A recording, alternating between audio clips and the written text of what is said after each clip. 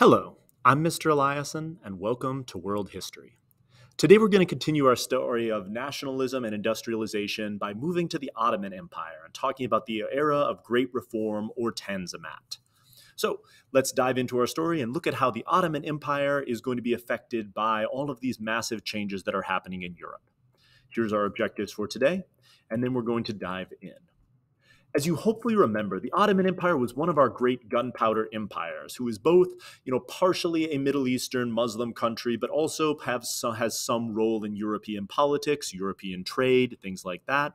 We remember in the 1500s, the Ottoman Empire was, of course, a massive source of political and economic stability and growth, and was one of the truly great powers of the pre, sort of pre modern world.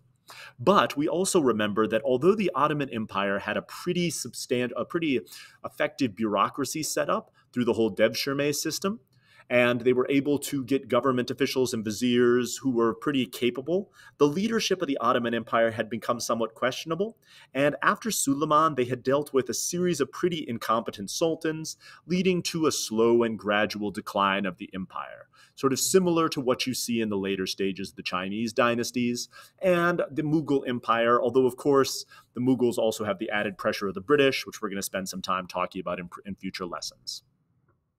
The Ottoman Empire at one point had significant European holdings, under Suleiman getting all the way to the gates of Vienna. But and we're going to see significant pushback by the uh, by European powers against the Ottoman Empire during this time period, and a slow and gradual decline until uh, eventually it collapses after World War One.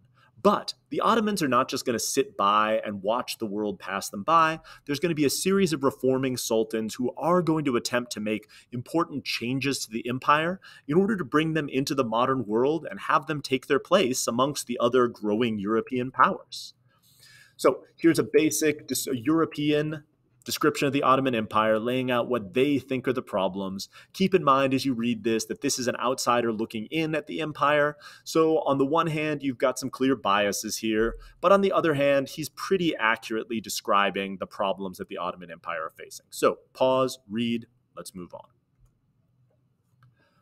this perception that the Ottoman Empire was on the on its last legs leads to the idea that it become that it is now what's called the sick man of Europe and that as other European powers start to grow, what they should start doing is taking away territory from the Ottoman Empire, both because the Ottoman Empire, in their opinion, can't effectively govern these territories, but also because they see clear motivations to, to do so in increasing their own power.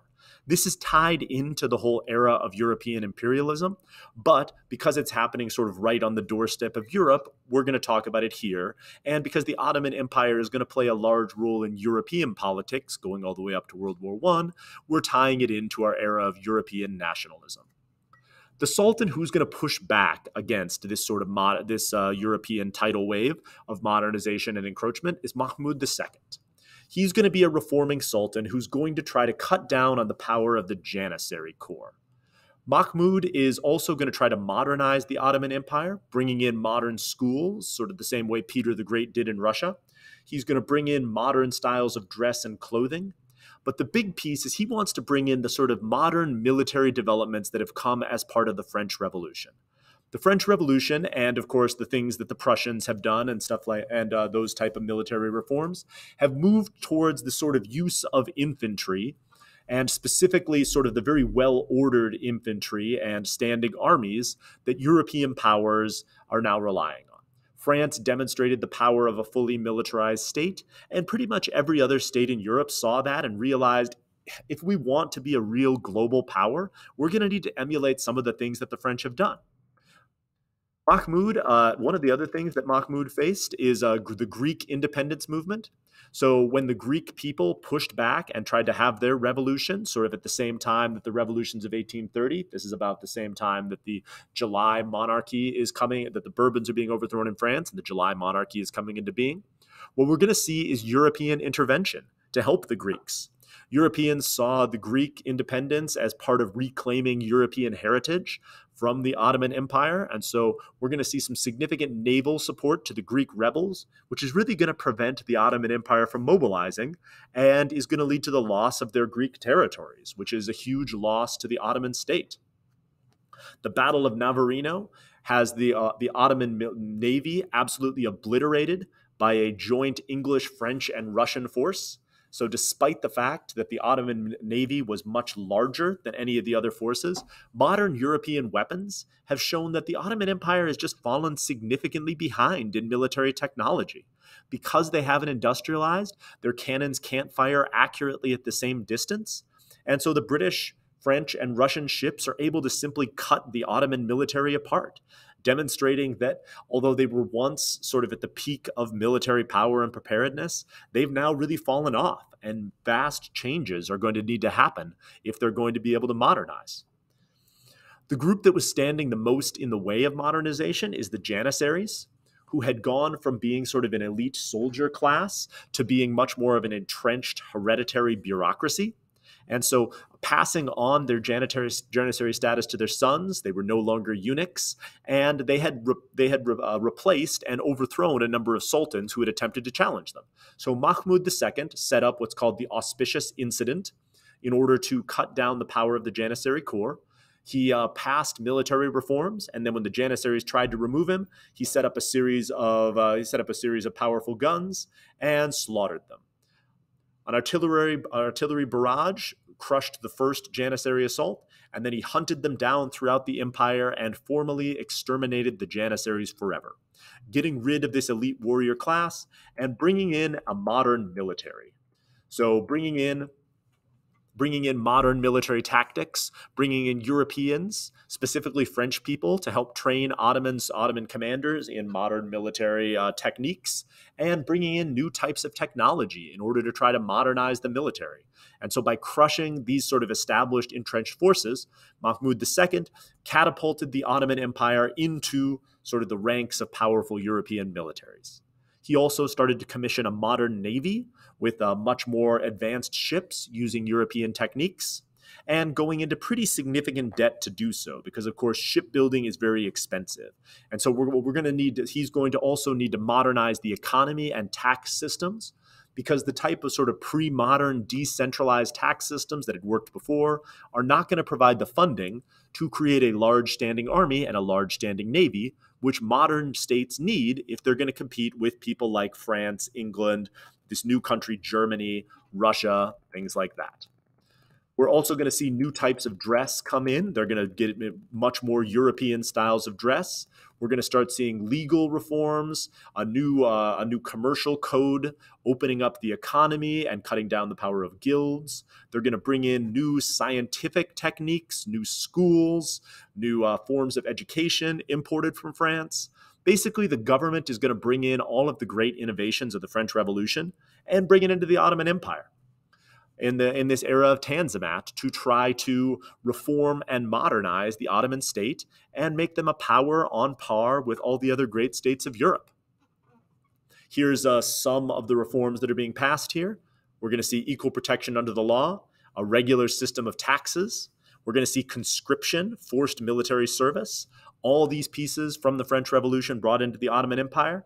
And all of this are all of these things absolutely necessary for modernizing, again, the Ottoman state and making them effective. We're also going to see an adequate census in order to assess tax revenue. We're going to see, again, modern forms of dress moving away from sort of traditional Ottoman and Turkish styles and adopting much more European styles. And we're going to see them create a centralized bank similar to the Bank of England or the Bank of France, in order to try to provide aid for all of this and provide the sort of financial backing. And so the Ottoman Empire, again, is going to import a bunch of foreign sort of systems and try to graft them onto their existing imperial structure with some measures of success. We're going to see some slow changes, but the Ottoman Empire is a very ancient, large, entrenched society. And so trying to completely have one ruler reform all these things is going to be incredibly challenging, and the changes are going to happen pretty incrementally. It's very difficult to completely overturn your society without having a massive French Revolution style thing. And obviously, the sultans of the Ottoman Empire don't really want to reform the political system, and so that's going to be somewhat problematic. The Crimean War is one of the main wars that sort of establishes the new status quo in Europe. Russia is going to be pushing into the Crimean Peninsula and pushing into sort of Ottoman territories in uh, in the Balkans. This is going to be one of the main sources of conflict that eventually leads up to World War One. And Russia Russia has been pushing against the Ottoman Empire since the days of Catherine the Great. As you hopefully remember with our lessons about Russia, Russia desperately wanted to capture the second Rome, Constantinople, the great Orthodox city of the Byzantine Empire, because as a predominantly Orthodox state, they saw this as sort of the Rome of Russia. And so, if they could recapture Constantinople, this great ancient metropolis, it would significantly increase their prestige and, of course, be culturally and religiously important. At the Battle of Sinope, the uh, Ottoman forces are going to face off against Russian forces, and it's going to go spectacularly poorly. It turns out that trying to create a modern navy is very, very complicated. And despite the fact that the Russians were not particularly good at their at building a modern navy either, the Ottomans made a series of vast miscalculations, which led to the absolute obliteration of their new modern navy. And so that's a bunch of money that's just thrown down the drain. And then the Ottomans are really going to. So uh, the destruction of the Ottoman navy, incredibly devastating and a huge setback for the empire. We're also going to see on the on the ground forces their modern military is really not up to dealing with Russia. Russia has their own logistical problems and their own issues. Europeans are learning the same lesson that the Americans are learning during this time. Modern weapons means that traditional military tactics, your whole Napoleon style wave attacks, are just absolute suicide. Modern rifles are so much more accurate that trying to charge en- enemy forces, especially entrenched enemy forces, is simply a good way to just get huge amounts of your troops killed. Both sides learned this during this time. The Russian military is slightly more modernized than the Russian than the Ottoman military at this point, for reasons that we'll talk about next time when we talk about reform in Russia. And so the Ottomans absolutely struggle on, in the land battles of the Crimean War. So much to the extent that England and France actually intervene on the side of the Ottomans and go and fight back and just destroy the Russians. The Crimean War is incredibly unpleasant. We'll just let you allow you to read this and then move on. And so all of this leads to a spectacular humiliation for the Ottoman Empire, and they push into another round of Tanzimat. More reforms, more attempts to change things, more attempts to move forward and to, try, to attempt to modernize. We're going to see another round of potential reforms here in which they're going to create, for example, a legislature in order to give the people more representation. They're going to try to create a written constitution in order to bring sort of constitutional government to the Ottoman Empire and modernize it even more. And there's going to be more attempts to graft European political and economic systems onto the existing Ottoman Empire. Take a moment and uh, read this, and we'll take it in. One of the big goals of this, as stated in this document, is to continue to get England and France to support the Ottoman Empire by making the Ottoman Empire appear as European as possible. The Ottomans understood that in the Crimean War, it was revealed that they could not effectively stand against the Russians. And so, if they can continue to appeal to England and France to help them against the growing Russian presence, they could that, that would be basically their only path to survival. And so, this second round of Tanzimat is to make the Ottoman Empire look as European as possible, so Europeans won't let other Europeans take them over. It's a messy, messy proposition, but it's effective. And in the Russo Turkish War, the Russians do significantly crush the Ottoman Empire and get very close to Constantinople. But again, England and France intervene. And the Ottoman Empire does lose Balkan territories and create a series of new, somewhat unstable states that are going to be problematic here for a while. But at the Congress of Berlin, they give back some significant territories here. The Russian Empire does not get Constantinople and it's going to be continue and they're going to continue to use the Ottoman Empire, the powers of England, France, and Germany are going to keep using the Ottoman Empire as a shield against the Russians, and they're going to really prevent the Russians from trying to uh, ob- obtain their eastern objectives, basically taking over Constantinople and partitioning up the Ottoman Empire. And so the Ottoman Empire is going to survive partially because of reforms that they had within the empire, but even more so because of outside European intervention. And so we're going to have the Ottoman Empire hanging on for just a while longer.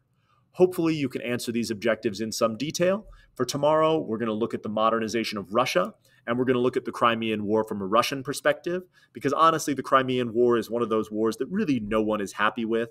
But for now, we're going to leave the Ottoman Empire behind and, uh, and wrap up today's lesson. So, thank you for listening.